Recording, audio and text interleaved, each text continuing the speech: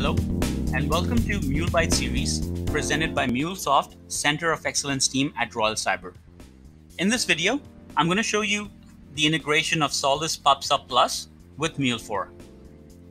The agenda for today is how to configure Solace PubSub Plus service, how to connect with multiple protocols, how to publish streams to Solace PubSub Plus using Mule4, how to consume streams from Solace PubSub Plus in Mule4, and in the end, we'll take a look at a demo on how it works. So first, this is the screen for Solace PubSub Plus where you can create a new service.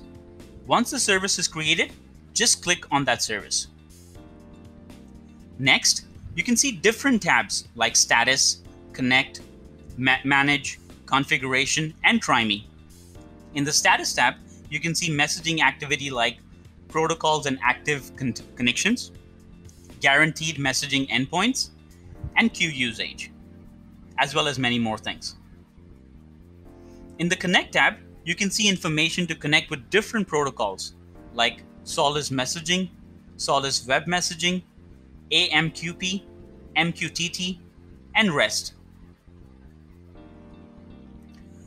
Let's click on REST and see connection details to connection with Solace PubSub Plus with other systems. Then we also have a Manage tab where we can see messaging service settings, PubSub Plus Manager quick settings like Message VPN, clients, queues, access control, and bridges. Then we have got the Configuration tab where we can see the configuration of the service.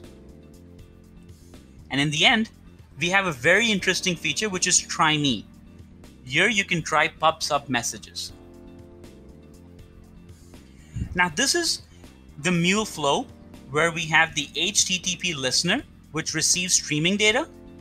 And as we see in REST connection details in Solace PubSub Plus, the request connector sends streaming data using the connection details.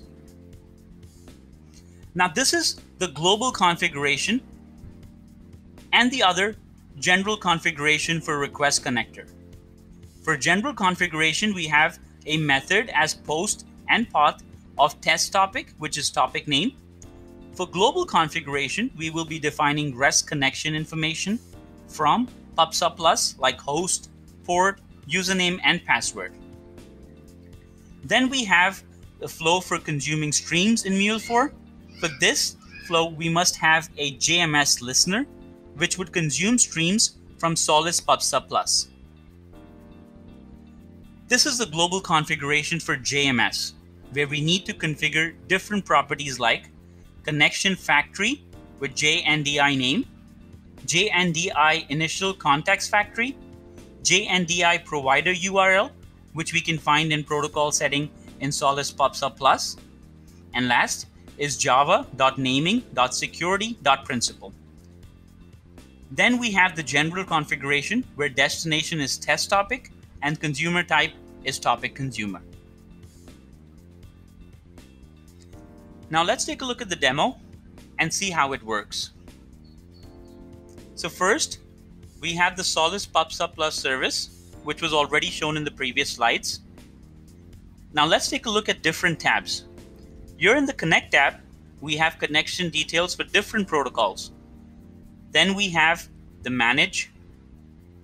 We've got Configuration. And the last tab is the Try Me tab. In the Try Me tab, let's suppose we have a topic name as test topic, and we can connect the publisher from here. Then let's connect subscriber. Write topic name as test topic and click subscribe. Now the topic has been subscribed. So let's move on to the REST client. Now if I click this send button, so the message written in the body will be sent to Solace PubSub Plus through MuleSoft, where we have an API deployed with path and publish. Now click the send button. So once the message is sent, we can go back to Solace PubSub Plus where we've subscribed to the topic and see the message has been received. The message has also been consumed in MuleSoft using the JMS connector, which we can see in the console.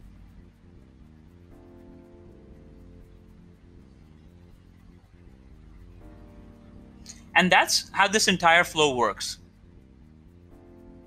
So this brings us to the end of the demo session.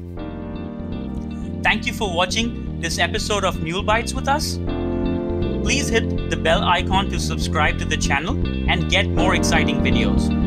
You can also leave a comment with you know with topics that you'd like to see in the future episodes. Until then, stay tuned and have a safe time.